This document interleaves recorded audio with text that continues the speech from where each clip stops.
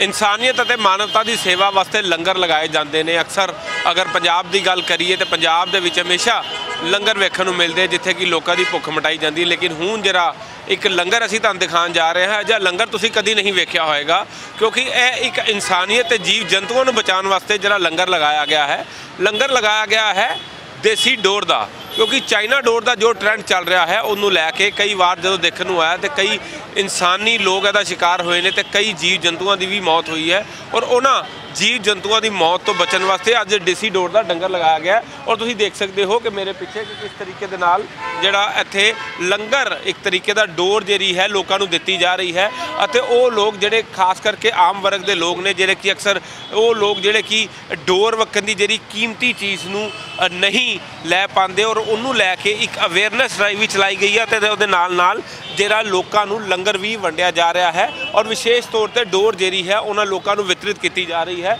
ਅਸੀਂ ਤਾਂ ਦਿਖਾ ਰਹੇ ਹਾਂ ਅੰਮ੍ਰਿਤਸਰ ਦੇ ਕਚਹਿਰੀ ਚੌਂਕ ਦੇ ਵਿੱਚ ਕੁਝ ਸਮਾਜ ਸੇਵੀ ਸੰਸਥਾਵਾਂ ਅਤੇ ਜਸਟ ਸੇਵਾ ਸੁਸਾਇਟੀ ਇੱਕ ਜਿਹੜੀ ਸੰਸਥਾ ਹੈ, ਉਹਦੇ ਵੱਲੋਂ ਇਹ ਲੰਗਰ ਜਿਹੜਾ ਹੈ ਵਿਤਰਿਤ ਕੀਤਾ ਜਾ ਰਿਹਾ ਹੈ। ਔਰ ਤੁਸੀਂ ਦੇਖ ਸਕਦੇ ਹੋ ਕਿ ਪ੍ਰਸ਼ਾਸਨ ਦੇ ਅਧਿਕਾਰੀਆਂ ਨੂੰ ਨਾਲ ਲੈ ਕੇ ਉਹਨਾਂ ਬੱਚਿਆਂ ਨੂੰ ਜਿਹੜੇ ਕਿ ਅਕਸਰ ਦੇਖਿਆ ਜਾਂਦਾ ਹੈ ਕਿ ਕਾਈਟ ਫਲਾਈਂਗ ਦੇ ਸ਼ੌਕੀਨ ਹੁੰਦੇ ਪਤੰਗਬਾਜ਼ੀ ਦੇ ਸ਼ੌਂਕ ਰੱਖਦੇ ਨੇ ਉਹਨਾਂ ਨੂੰ ਇਹ ਡੋਰਾਂ ਜਿਹੜੀਆਂ ਨੇ ਵਿਤਰਿਤ ਕੀਤੀਆਂ ਜਾ ਰਹੀਆਂ ਔਰ ਇਹਦੇ ਵਾਸਤੇ ਕੋਈ ਪੈਸਾ ਨਹੀਂ ਲਿਆ ਜਾ ਰਿਹਾ। ਖਾਸ ਤੌਰ ਤੇ ਉਹ ਬੱਚੇ ਜਿਹੜੇ ਨੇ ਕਿਉਂਕਿ ਅਕਸਰ ਜਦੋਂ ਦੇਖਣ ਚ ਆਇਆ ਹੈ ਕਿ ਜਿਹੜਾ ਅ, ਥੋੜੇ ਇੱਕ ਰੂਰਲ ਇਲਾਕੇ ਹੁੰਦੇ ਨੇ ਜਾਂ ਕੋਈ ਸਲਮ ਇਲਾਕੇ ਹੁੰਦੇ ਨੇ ਉੱਥੇ ਅਕਸਰ ਇਸ ਡੋਰ ਦਾ ਇਸਤੇਮਾਲ ਜਿਹੜਾ ਜ਼ਿਆਦਾ ਕੀਤਾ ਜਾਂਦਾ ਹੈ ਔਰ ਲੋਕ ਜਿਹੜੇ ਨੇ ਲੈ ਕੇ ਜਾਂਦੇ ਨੇ ਉਹ ਅੱਜ ਇੱਥੇ ਇੱਕ ਤਰ੍ਹਾਂ ਦਾ ਜਿਹੜਾ ਲੰਗਰ ਜਿਹੜਾ ਹੈ ਵਿਤਰਿਤ ਕੀਤਾ ਜਾ ਰਿਹਾ ਹੈ ਜਸ ਸੇਵਾ ਸੁਸਾਇਟੀ ਔਰ ਕੁਝ ਸਮਾਜ ਦੇ ਹੋਰ ਲੋਕਾਂ ਵੱਲੋਂ ਇਹ ਜਿਹੜੀ ਡੋਰ ਜਿਹੜੀ ਹੈ ਦਿੱਤੀ ਜਾ ਰਹੀ ਹੈ ਅਸੀਂ ਤੁਹਾਨੂੰ ਲਾਈਨਾਂ ਵੀ ਪਿੱਛੇ ਦਿਖਾ ਰਹੇ ਹਾਂ ਕਿ ਕਿਸ ਤਰੀਕੇ ਦੇ ਨਾਲ ਪ੍ਰੋਪਰ ਤਰੀਕੇ ਦੇ ਨਾਲ ਜਿਸ ਤਰ੍ਹਾਂ ਲੰਗਰ ਵਰਤਾਇਆ ਜਾਂਦਾ ਹੈ ਉਦਾਂ ਹੀ ਇਹ ਜਿਹੜੀ ਡੋਰ ਇੱਥੇ ਵਿਤਰਿਤ ਕੀਤੀ ਜਾ ਰਹੀ ਹੈ।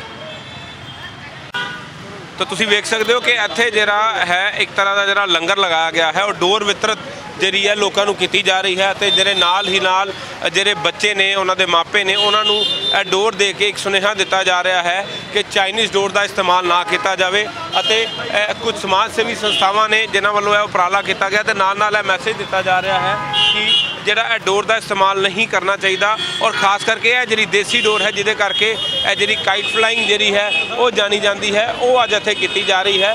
ਔਰ ਅਸੀਂ ਉਹਨਾਂ ਨਾਲ ਗੱਲ ਵੀ ਕਰਾਂਗੇ, ਕੁਝ ਸਮਾਜ ਸੇਵੀ ਸੰਸਥਾਵਾਂ ਵੀ ਨੇ। ਸਰ, ਕੀ ਕਹਿਣਾ ਚਾਹੋਗੇ? ਕੀ ਮਕਸਦ ਹੈ ਜੀ? ਅੱਜ ਜਿਹੜੀ ਹੈ, ਜਿਹੜੀ ਸੇਵਾ ਕੀਤੀ ਗਈ, ਕੀ ਹੈ? ਸਤਿ ਸ਼੍ਰੀ ਅਕਾਲ, ਸਰ।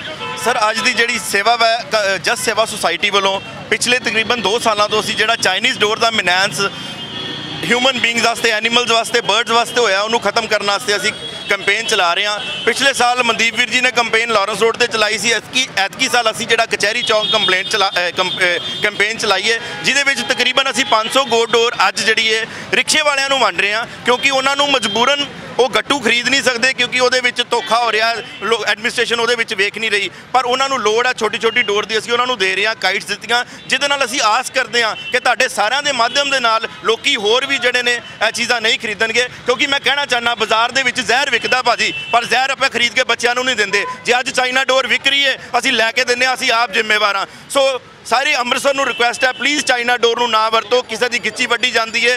এনवायरमेंट ਵਾਸਤੇ ਬਹੁਤ ਨੁਕਸਾਨ ਹੈ ਨਾਨ ਬਾਇਓ ਡਿਗਰੇਡੇਬਲ ਹੈਗੀ ਹੈ। ਬਾਕੀ ਮੇਰੇ ਵੀਰ ਜੀ ਮਨਦੀਪ ਜੀ ਦੱਸਣਗੇ। ਸਾਡਾ ਮਨਦੀਪ ਸਿੰਘ ਮੰਨਾ ਵੀ ਸਾਡੇ ਨਾਲ ਮੌਜੂਦ ਨੇ ਜਿਹੜੇ ਕਿ ਅਕਸਰ ਇਸ ਤਰ੍ਹਾਂ ਦੇ ਮੁੱਦੇ ਚੁੱਕਦੇ ਰਹਿੰਦੇ ਨੇ। ਹਾਂਜੀ ਮੰਨਾ ਜੀ ਕੀ ਕਹਿਣਾ ਚਾਹੋਗੇ ਜੀ ਜਿਹੜਾ ਤੁਸੀਂ ਅੱਜ ਜਿਹੜੀ ਡੋਰ ਵਿਤਰਿਤ ਕੀਤੀ ਜਾ ਰਹੀ ਕੀ ਹੈ? ਮੈਂ ਤੇ ਕਹਿਣਾ ਚਾਹੂੰਗਾ ਜੀ ਇਸ ਮੁਲਕ ਦੀ ਬਦਕਿਸਮਤੀ ਹੈ ਕਿ ਆਪਣੇ ਹੱਕਾਂ ਲਈ ਇਹੋ ਜੀਆਂ ਵਿਪਤਾ ਜਿਹੜੀਆਂ ਨੇ ਇਹਨਾਂ ਤੋਂ ਨਿਜਾਤ ਪਾਉਣ ਲਈ ਲੋਕਾਂ ਨੂੰ ਸੜਕਾਂ ਤੇ ਆਉਣਾ ਪੈਂਦਾ ਔਰ ਇਸ ਤਰੀਕੇ ਕੰਮ ਕਰਨਾ ਪੈਂਦਾ। ਮੈਨੂੰ ਕਹਿਣ 'ਚ ਕੋਈ ਗਰੇਜ ਨਹੀਂ ਕਿ ਜੇ ਸਾਡਾ ਮੁਲਕ ਜਾਂ ਸਾਡਾ ਸੂਬਾ ਚੱਲ ਰਿਹਾ ਤੇ ਇਹੋ ਜਿਹੇ ਚੰਗੇ ਲੋਕਾਂ ਦੀ ਬਦੌਲਤ ਚੱਲ ਰਿਹਾ ਜਿਹੜੇ ਸੇਵਾ ਸੁਸਾਇਟੀਆਂ ਔਰ ਐਨਜੀਓ ਵਗੈਰਾ ਚਲਾਉਂਦੇ ਨੇ, ਨਹੀਂ ਤੇ ਰੱਬ ਆਸਰੇ ਚੱਲ ਰਿਹਾ। ਮੈਂ ਪਹਿਲਾਂ ਵੀ ਕਿਹਾ ਸੀ ਕਿ ਕਿਸ਼ਤੀਆਂ ਡੂਬ ਚੁੱਕੀ ਹੈ ਸਾਰੀ, ਅਬ लिए ਫਿਰਤਾ ਹੈ ਸਮੁੰਦਰ ਹਮਕੋ। ਇਹ ਲੋਕ ਸਮੁੰਦਰ ਬਣ ਕੇ ਇਸ ਤਰੀਕੇ ਦੇ ਚੰਗੇ ਕੰਮ ਕਰਦੇ ਨੇ। ਔਰ ਜਦੋਂ ਸਰਕਾਰ ਨੂੰ ਪਤਾ ਇੰਨੀਆਂ ਮੌਤਾਂ ਹੋ ਜਾਂਦੀਆਂ ਇੰਨੇ ਹਾਦਸੇ ਹੋ ਜਾਂਦੇ ਆ ਹਰ ਸਾਲ ਦੇ ਵਿੱਚ ਚਾਈਨਾ ਡੋਰ ਦੇ ਨਾਲ ਤੇ ਗੱਲਾਂ ਤੇ ਹੋਈਆਂ ਸੀ ਨਸ਼ਾ ਬੰਦ ਕਰਨ ਦੀਆਂ ਇਹਨਾਂ ਕੋਲ ਤੇ ਚਾਈਨਾ ਡੋਰ ਨਹੀਂ ਬੰਦ ਹੋਈ। ਇਹੋ ਜਿਹੇ ਕੰਮਾਂ ਦੇ ਨਾਲ ਇਹ ਲੋਕ ਜਾਗਰੂਕ ਕਰਦੇ ਨੇ ਲੋਕਾਂ ਨੂੰ ਔਰ ਬਹੁਤ ਸ਼ਲਾਘਾਯੋਗ ਗੱਲ ਹੈ। ਔਰ ਇਹਦੇ ਨਾਲ ਨਾਲ ਮੈਂ ਜਸਟ ਸੇਵਾ ਸੁਸਾਇਟੀ ਲਈ ਇਹ ਵੀ ਕਹਿਣਾ ਕਿ ਕੇਵਲ ਇਹੋ ਹੀ ਕੰਮ ਨਹੀਂ ਕਰਦੇ। ਜੀ ਜੀ। ਕੇਵਲ ਇਹੀ ਕੰਮ ਨਹੀਂ ਕਰਦੇ। ਹੋਰ ਸਮਾਜ ਭਲਾਈ ਦੇ ਬਹੁਤ ਜ਼ਿਆਦਾ ਕੰਮ ਕਰਦੇ ਨੇ, ਜਿਵੇਂ ਬੱਚ- ਗਰੀਬਾਂ ਦਾ ਇਲਾਜ ਕਰਾਉਣਾ, ਕਿਸੇ ਕੋਲ ਇਲਾਜ ਲਈ ਪੈਸੇ ਨਹੀਂ ਹੈਗੇ, ਸਕੂਲਾਂ ਦੇ ਵਿੱਚ ਬੱਚਿਆਂ ਦੀ ਪੜ੍ਹਾਈ ਲਈ ਉਹਨਾਂ ਨੂੰ ਪੈਨਸਲਾਂ, ਕਾਪੀਆਂ, ਹੋਰ ਜ਼ਰੂਰਤੀ ਸਮਾਨ ਦੇਣਾ। ਮੈਂ ਫਿਰ ਕਹਿਣਾ ਕਿ ਮੁਲਕ ਦੇ ਹਾਲ ਕੋਈ ਬਹੁਤਾ ਵਧੀਆ ਨਹੀਂ, ਸੂਬੇ ਦੇ ਹਾਲ ਕੋਈ ਬਹੁਤੇ ਵਧੀਆ ਨਹੀਂ। ਅੱਜ ਮੈਂ ਅਖਬਾਰ 'ਚ ਪੜ੍ਹਦਾ ਸੀਗਾ ਕਿ ਇੱਕ ਜਨਾਨੀ ਦੇ ਤਿੰਨ ਬੱਚੇ ਹਸਬੈਂਡ ਉਹਦਾ ਹੈ ਨਹੀਂ, ਔਰ ਉਹਨਾਂ ਨੂੰ ਤਿੰਨ ਦਿਨ ਤੋਂ ਭੁੱਖੇ ਸੀਗੇ, ਉਹਨੇ ਆਪਣੇ ਵਾਲ ਕੱਟ ਕੇ, ਵਾਲ ਕੱਟ ਕੇ ਵੇਚ ਕੇ ਤੇ ਆਪਣੇ ਬੱਚਿਆਂ ਨੂੰ ਖਾਣਾ ਦਿੱਤਾ।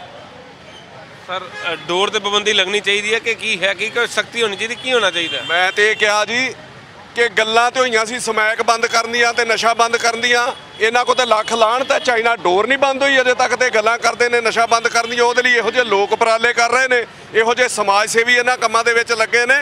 ਇਹਨਾਂ ਦੀਆਂ ਗੱਲਾਂ ਛੱਡੋ, ਇਹਨਾਂ ਨੂੰ ਤੇ ਜੋ ਮਰਜ਼ੀ, ਸ਼ਰੇਆਮ ਪਤਾ ਕਿ ਇਹਨਾਂ ਚੀਜ਼ਾਂ ਨਾਲ ਬੰਦੇ ਮਰਦੇ ਨੇ, ਇਹਨਾਂ ਚੀਜ਼ਾਂ ਨਾਲ ਸਮਾਜ ਦਾ ਬੇੜਾ ਗਰਕ ਹੁੰਦਾ ਇੱਥੇ ਮਿਲਾਵਟੀ ਸਮਾਨ ਹੈ, ਕਿਸੇ ਵੀ ਚੀਜ਼ ਤੇ ਕੋਈ ਪਾਬੰਦੀ ਲਾਉਣ ਨੂੰ ਤਿਆਰ ਨਹੀਂ। ਔਰ ਇਹ ਲੋਕ ਲੋਕਾਂ ਨੂੰ ਜਾਗਰੂਕ ਕਰਦੇ ਨੇ, ਬੱਚਿਆਂ ਨੂੰ ਜਾਗਰੂਕ ਕਰਦੇ ਨੇ।